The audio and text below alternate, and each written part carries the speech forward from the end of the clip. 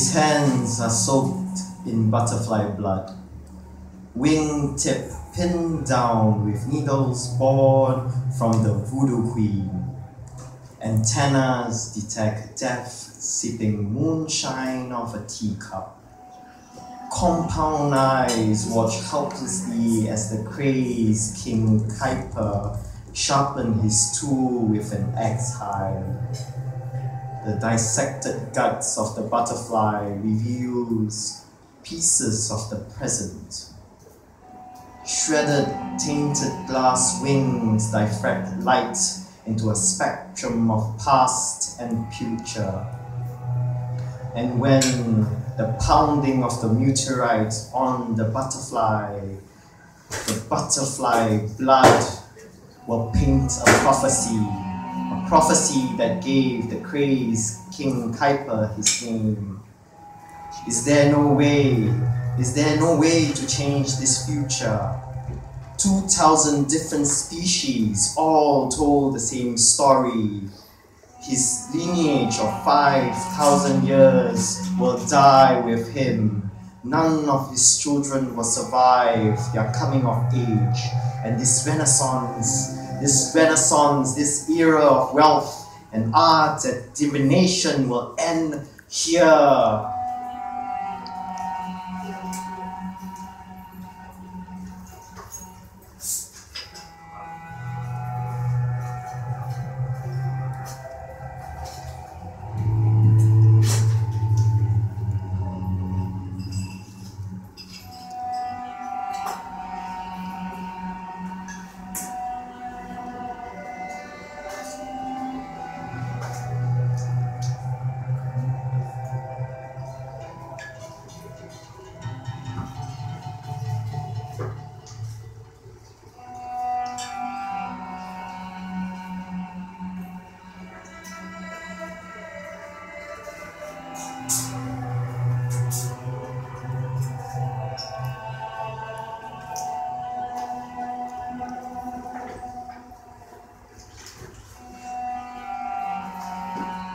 As he sits on his silky throne, contemplating who will take over his throne. The fumes from the incest of burning dead caterpillars took over him, and he began to daydream. Upon his death, there will be a war of the three kingdoms. The snakes will take over the world. They are powerful and they have the most gold. They are not afraid to poison anyone who will not follow them. The bears will fight back. They believe in a just and freedom kingdom. They are the bravest and they have the most loyal following, but they will fall one by one. The bears will fall because they are just too honest, just too just, and anyone can be swayed by gold. The falcons do not care. All they want to do is trade. They will fund any of their enemies if it suited them. They see everything, they hear everything, they know everything. But you can never tell what their true intentions are or where their loyalties lie. All across the land, the, there is ash and there is decay. If you listen to the wind, you will hear the voice going, Let them burn! Let them all burn! As the kite, the crazed King Kuiper came back from his daydream, he said this could not be. He leaves the great hall. He goes down the dark tower into his private garden. He enters into his greenhouse and he starts smashing the butterflies with his meteorite, which was gifts from the heaven.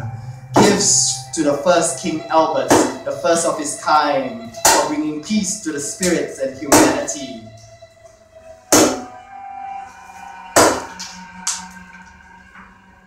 As he sits on the floor, staring at his hands soaked in butterfly blood, an image appeared to him. A giant metal marked butterfly, its wingspan was wider than the greenhouse, its body taller than a man in its coat. and said, It is your time, Kaipa. Who dares call my name? I am king. You are no king to me. It is time for the prophecy to fulfill itself. What? Why?